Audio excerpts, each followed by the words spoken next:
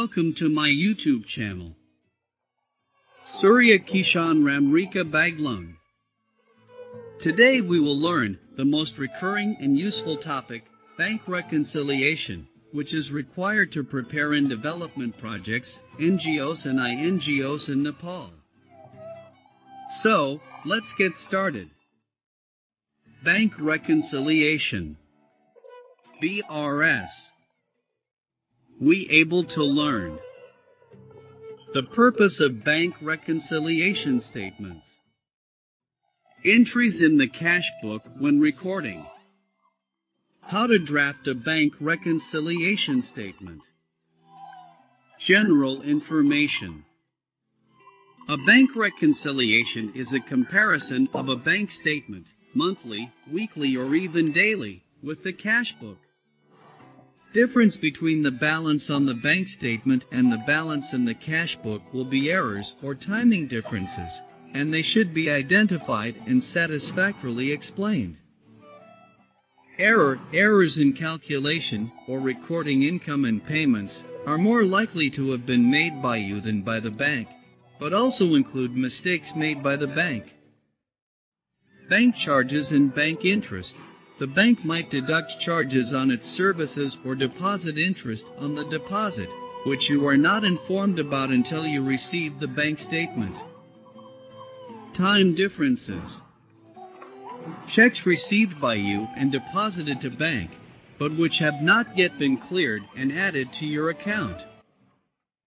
Check issued but not presented for payment. Why is bank reconciliation necessary? To identify and account for the differences between the cash book and the bank statement. What to look for when preparing bank reconciliation.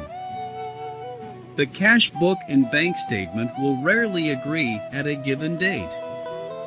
You may have to look for the following items. Corrections and adjustments to the cash book. Payments made into the bank account which has not yet been entered in the cash book. Example, account transfers. Bank interest and bank charges not yet entered in the cash book. Dividends received on investments held paid directly into the bank account but not yet entered in the cash book. Account transfers. Items reconciling the correct cash book balance to the bank statement.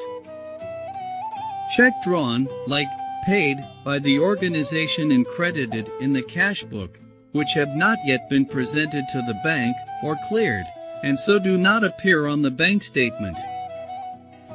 Checks received by the organization, paid into the bank and debited in the cash book, but which have not been cleared and entered in the account by the bank, and so do not yet appear on the bank statement.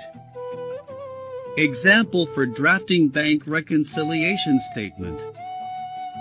On 31st December 2023, the balance in the cash book of ABC firm was 8,000 rupees debit. A bank statement on 31st December 2023 showed ABC firm to be in credit by 11,000 rupees. On investigation of the differences between the two sums, it was established that the cash book had been undercast by 1,000 rupees on the debit side. Checks paid in or received, but not yet credited by the bank amounted to 2,000 rupees called outstanding checks. Checks drawn but not yet presented to the bank amounted to 4,000 rupees, called unpresented checks. Required. Show the correction to the cash book. Prepare a bank reconciliation statement as on 31st December 2023. Now, you can see the solution here.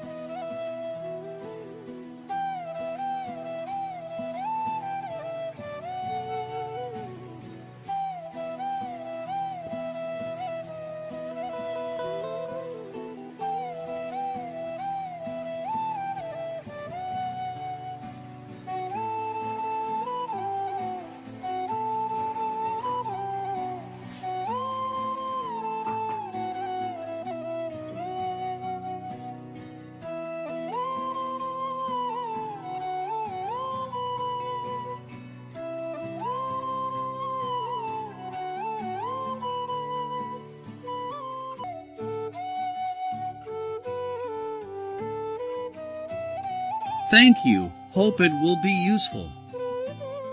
Please do subscribe for more useful videos, keep watching. Don't forget to subscribes and do likes.